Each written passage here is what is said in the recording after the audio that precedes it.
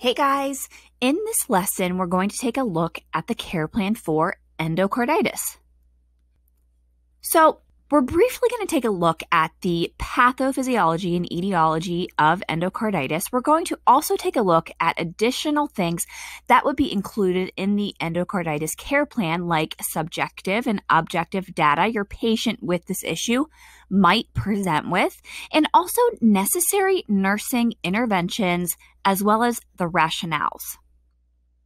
So, endocarditis is inflammation of the lining of the valves of the heart, often from an infectious source, which can cause disorders of the valve and also life threatening arrhythmias. Because vegetations can form from bacteria, heart attacks and strokes are also extremely possible.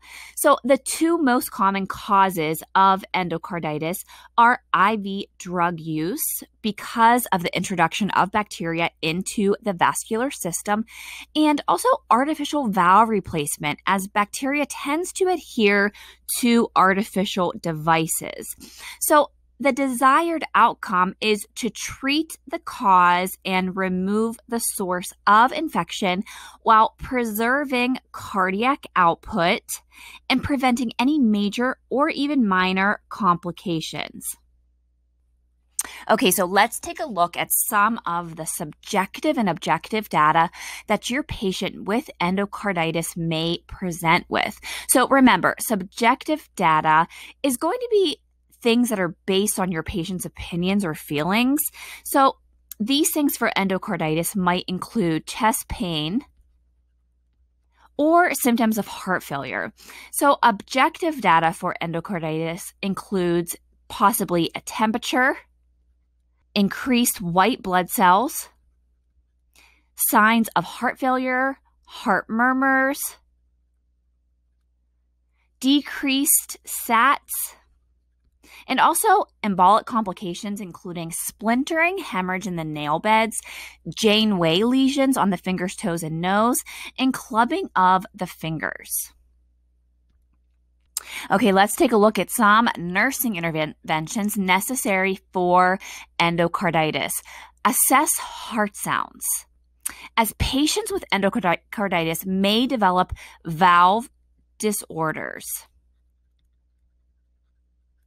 So listen for heart murmurs or extra sounds. Next, assess and address oral hygiene.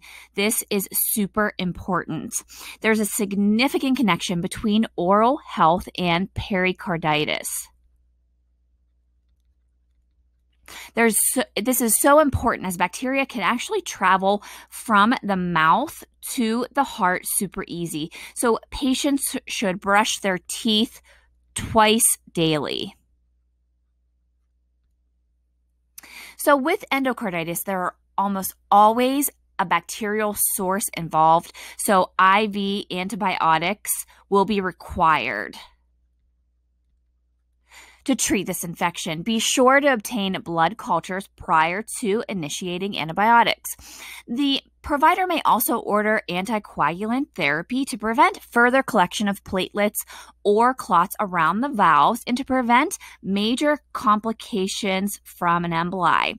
Depending on the medication, the therapy may require monitoring. For example, IV heparin, you'll need to do PTTs. So, because of the risk of embolic complications, patients with endocarditis should have SCDs and TED hose. Be sure to assess for signs of an emboli because of the possible vegetations on the valves. There's a risk of MI, PE, stroke, even damage to the smaller vessels in the hands, feet, and extremities. Be sure that you educate your patients on the signs of infections and also reporting these to the provider. Also, teaching hand hygiene is critical. Teach the patient to inform other providers of their endocarditis history before any procedure, as the patient may need prophylactic antibiotics and they should not have any dental procedures for six months. Okay, guys, here is a look at the completed care plan for endocarditis. Okay, let's do a quick review of endocarditis. This is the inflammation of the lining of the heart valves, usually from an infectious source, which can cause valvular disorders and arrhythmias. The cause is usually from IV drug use or from artificial valves. Subjective data includes chest pain and symptoms of heart failure. Objective data includes a temperature, having elevated white blood cells, signs of heart failure, heart murmurs, and embolic complications like splintering hemorrhagic nail beds, finger clubbing, and Janeway lesions. Assess the patient's heart sounds, listening for murmur. Assess their oral hygiene and have them brush their teeth twice daily.